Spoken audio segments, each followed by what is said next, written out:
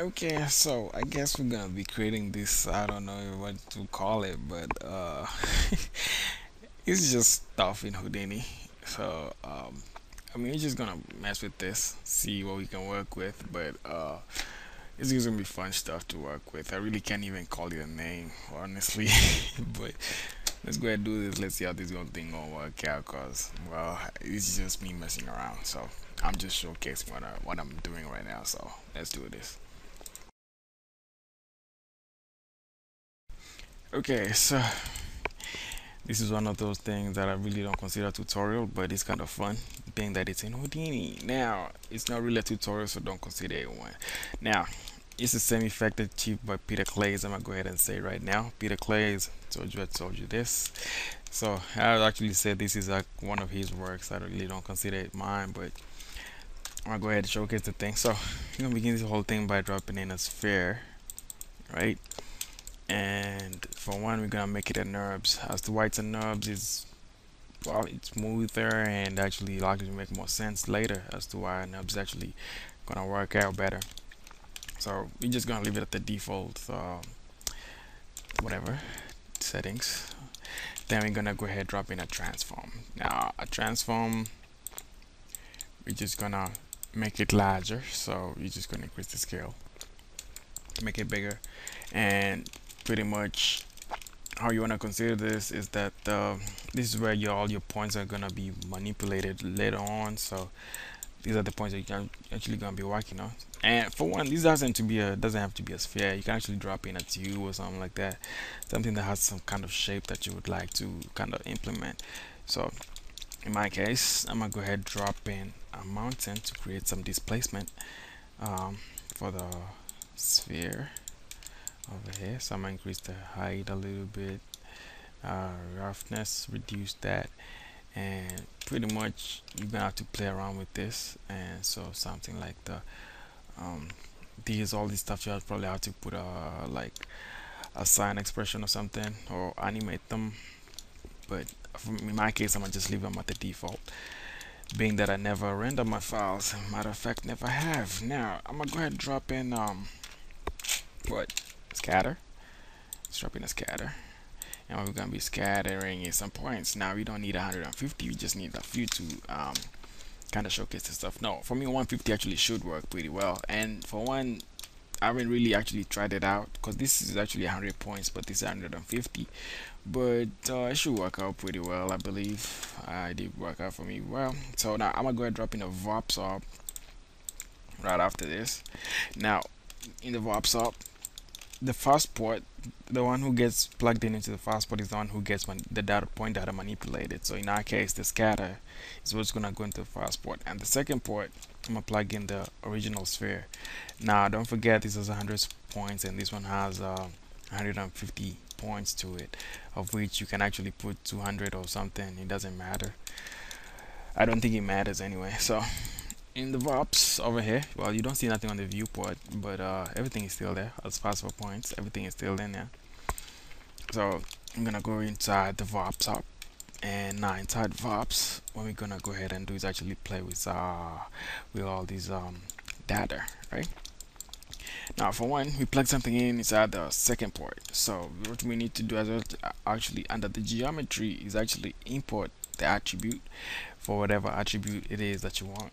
Now in our case, if you want to learn attributes quicker, if you're just beginning in Houdini, if you click on the output as a single, you can tell what attribute shortcut well it's not really a shortcut but that's the name that's given as far as for instead of this long name there's always this short and nice name that's actually put out. So p in our case is position and actually that's what we want in our case.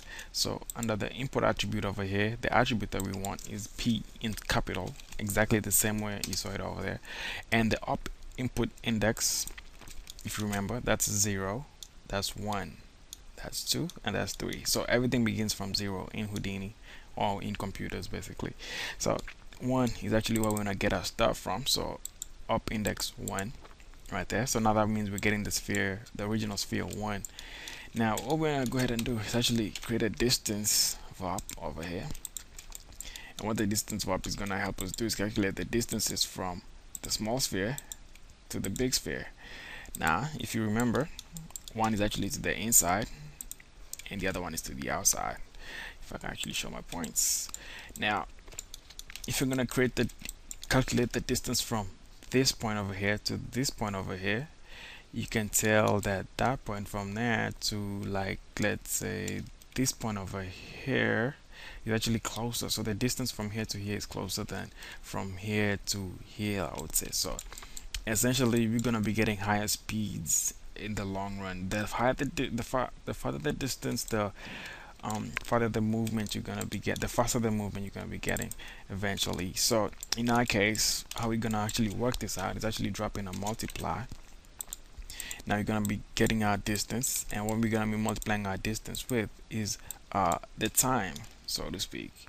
So I'm gonna multiply with the frames. So you can imagine that um, it's gonna start out slow and as the frame number gets high it just goes up faster and faster. So you probably want to use a ramp or something like that. So like it goes from 0 to 1 ramp the multiplies from 0 to 1 so it kind of goes slow then quicker. But in my case I'm gonna just showcase it like this and then right after that what we're gonna go ahead and do is actually drop in a transform matrix so you can actually start manipulating the point data. And what we're gonna go ahead and do is actually get this point position into the point position over here. So it's just I'm just getting from the point position to the point position over here. Now actually if I plug this in out directly as it is nothing should change because nothing has been manipulated. So in our case what we're gonna go ahead and do is actually if you look over here you gotta translate rotate scale blah blah blah but in our case we just want to rotate in the y. So in our if you actually go and manipulate this you can actually see you actually rotating um, the points inside the viewport. Now you can actually drop in a float to vector because now if you actually look oops if you actually look well you'll see that the colors actually match up. So that's a vector that you need to be plugging in over here. Hence the need to drop in a float to vector to actually re um, assign well how do I say this? You want to bring back the float to vector. You want to create a vector. Let's just put it like that. You want to create a vector so you need a float to vector to in order to plug this in over here. Because if you actually drop in a float this is a float attribute in this kind of green. It's a float attribute. And if you plug it in over here you can tell Houdini tells you like with this dotted line like um, I can see what you want but uh, that's not the thing that I usually get every single time I'm getting stuff. So now I'll plug this into the Y port over here.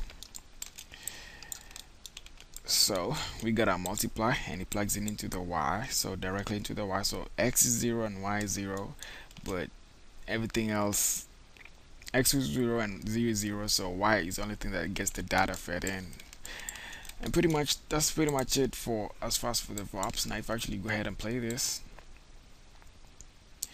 you can see the points just keep on spinning and spinning and spinning. And don't forget that this is all procedural so your mountain still affects the stuff. So if you reduce the height or something like that it's still gonna affect the the way it plays and stuff. So you might want to animate some of these parameters. So we got that set up now we might want to actually drop in a trail sop of which it trails the sop hence the name trailing tangs over there. My goodness, how do you come up with these names? Now, we want to create a result type to connect as polygons. And we want to increase the number to like 10 or so. And for one, we don't want to close the rows. We just want to leave it open as lines. And well, I think we need colors because this thing is not looking as good in black. So I would say that's actually pretty good. You might want to increase the length if it's, you know, like too short. So 17 in my case. Now we're going to go back to VOPs and actually put the colors from VOPs. And we're going to do this for every single point. So easy way to do that, we're actually dropping a random. So a random VOP. And we're to get every point number. So every point number, plug it in over here. To every, so you can imagine that here you have 150 points. So now to every single point number you're gonna apply or you're gonna give it a random value which is gonna be in our case signature type of 3d color. So 1d integer and uh, output of a 3d color. And that produces a vector that's essential for dropping that output into the point color. So both of them match. And if you actually look now you got different colors for every single point of which that's you know pretty cool. Now you can actually go ahead and start doing your test renders and stuff if you're happy with it. For me I'm not really happy. Why is that? Well for one they're too even and well ain't nothing much to it for real. So I'm gonna go ahead and uh, for one uh, let's um let's remove that specularity from there. So I'm gonna go to my material over here and drop in a constant right inside. And uh, I'm gonna go ahead and let me put it this way this side. And I'm gonna go ahead and drag this to this one right here. So actually I'm gonna go ahead to my um, OBJ level and drop this in on top of this. So make sure you just drop it on top. Now if I actually go ahead into my OBJ over here. I got a material set up as a sharp constant. So now actually if I go ahead and render now it doesn't do all those um specular highlights and stuff. So big difference when you consider the specular highlights and stuff. So let's go ahead and um, continue working on this a little bit. It's kind of pretty much finished but let's say we want to get the same effect Peter had you know he had this effect where he actually fades out. So in our case we want to make this kind of like um, not not these even cubes